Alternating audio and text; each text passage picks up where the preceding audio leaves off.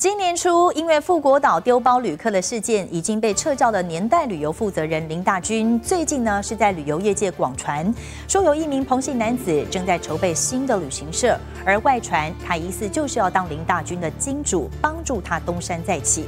而对此，这名彭姓男子反驳，两个人有合作的消息。根据法律的规定，林大军在五年之内都不得再开设旅行社，也不能够从事董事或者是股东。观光署现在也介入调查。今年初，年代旅游在富国岛丢包旅客的事件引起全台关注，最后因为财务问题遭到观光署撤销旅行社的执照。当时年代旅游负责人林大军神隐，如今。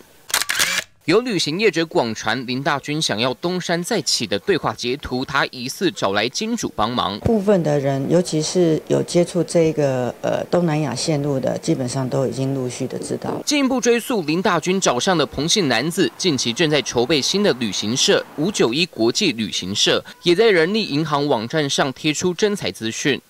合作，我曾经想帮忙他，我我说给他一个一个重新的机会，他要把网。站卖给我，开价一百多万，我又不是疯子。鹏信负责人反驳会与林大军的合作，而根据法律的规定，林大军五年内不得为旅行业的发起人、董事或代表公司的股东等等。观光署也进一步强调，经过调查，彭信负责人也明确表示不会和林大军合作，也会查说他林大军到底是不是在这个公司有具体的证据会让他出会啊。这回网络上林大军东山再起的传闻再度引发关注。这杨宗彦、黄明胜台北报道。